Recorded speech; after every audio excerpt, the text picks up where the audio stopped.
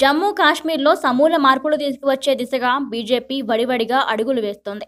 ఇందులో భాగంగా జమ్మూ కాశ్మీర్లోని అంతర్జాతీయ సరిహద్దు నియంత్రణ రేఖ సమీపంలో ఉన్న ప్రజల కోసం ఉద్దేశించిన జమ్మూ కాశ్మీర్ బిల్లును పార్లమెంట్లో ప్రవేశపెట్టింది.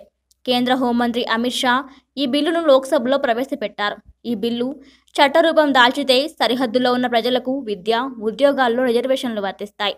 ఈ సందర్భంగా అమిత్ షా మాట్లాడుతూ ఏ ఒక్కరినో సంతృప్తి పరిచేందుకు తాము ఈ బిల్లు ప్రవేశపెట్టలేదని అంతర్జాతీయ సరిహద్దుల వద్ద నివసిస్తున్న ప్రజల జీవితాలను మెరుగుపరిచేందుకు ప్రవేశపెట్టామని చెప్పారు జమ్మూ కాశ్మీర్లోని పరిణామాలను తాము నిశ్చితంగా గమనిస్తున్నామన్నారు జమ్మూ కాశ్మీర్లో రాష్ట్రపతి పాలన మరో ఆరు నెలల పాటు పొడిగించాలని ప్రతిపాదిస్తున్నానని చెప్పారు विधायकों की खरीद फरोख और हॉर्स ट्रेडिंग के मामले भी सामने आने लगे और लंबे समय तक अस्थिरता थी तो राज्यपाल महोदय ने निर्णय किया कि 21 नवंबर 2018 को विधानसभा को भंग कर दिया जाए और 21 नवंबर 2018 को सुनी हुई विधानसभा को भंग करने का निर्णय राज्यपाल महोदय ने लिया।